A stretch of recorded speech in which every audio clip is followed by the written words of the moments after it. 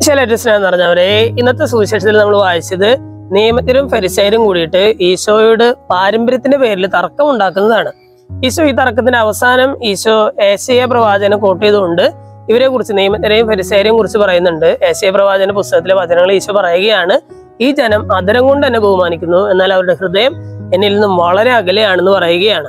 അതായത് ഈ അതരം കൊണ്ടുള്ള ബഹുമാനം അതരം കൊണ്ട് ഒരാളെ ബഹുമാനിക്കാനായിട്ട് നമുക്ക് ഭയങ്കര എളുപ്പമാണ്. കാരണം എന്താണ്? നമുക്ക് ഇഷ്ടമുള്ള വാക്കുകൾ നമ്മുടെ ആത്മാർത്ഥത ഇല്ലാത്ത കുറെ വാക്കുകളൊക്കെ പറഞ്ഞ് ഒരാളെ ബഹുമാനിക്കാനായിട്ട് നമുക്ക് ഭയങ്കര എളുപ്പമാണ്. അതിന് പ്രത്യേകിച്ച് വലിയ അധ്വാനമൊന്നും ആവശ്യമില്ല.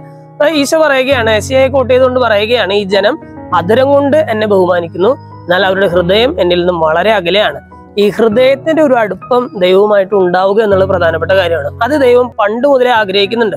കാരണം പഴയ നിയമത്തിൽ ദൈവം ഈ പത്ത് കൽപ്പനകൾ കൊടുക്കുമ്പോൾ അതിൽ ഒന്നാമത്തെ ആദ്യത്തെ കൽപ്പനയായിട്ട് പറയുന്ന ഇതാണ് എന്റെ ദൈവമായ കർത്താവിനെ പൂർണ ഹൃദയത്തോടും പൂർണ ആത്മാവോടും കൂടി നീ സ്നേഹിക്കണം എന്നുള്ളത്. പൂർണ ഹൃദയത്തോടെ സ്നേഹിക്കണം. അതായത് അത്ര വലിയൊരു ഹൃദയ ഐക്യം നീയും ദൈവവും തമ്മിൽ ഉണ്ടായിരിക്കണം എന്നുള്ളതാണ്. ചുമ്മാ അതിരം കൊണ്ടുള്ള ഒരു ബഹുമാനത്തേക്കാൾ ഉപരി ഹൃദയം കൊണ്ടുള്ള ഒരു അടുപ്പം ദൈവവുമായിട്ടുണ്ടോ. അതാണ് ഇന്നത്തെ സുവിശേഷ ഭാഗം നമ്മളോട് ചോദിക്കുന്ന ചോദ്യം. ഇന്നത്തെ സുവിശേഷ ഭാഗം വായിച്ചു കഴിയുമ്പോൾ ദൈവവുമായിട്ടുള്ളൊരു ഹൃദയ ഐക്യം ഉണ്ടാക്കാനായിട്ട് ആ ഒരു നല്ലൊരു ബന്ധം ഉണ്ടാക്കിയെടുക്കാനുള്ള ഒരു കൃപയ്ക്കായിട്ട് നമുക്ക് പ്രാർത്ഥിക്കാം. ദൈവം നമ്മെല്ലാവരെയും സമൃദ്ധമായിട്ട് അനുഗ്രഹിക്കട്ടെ.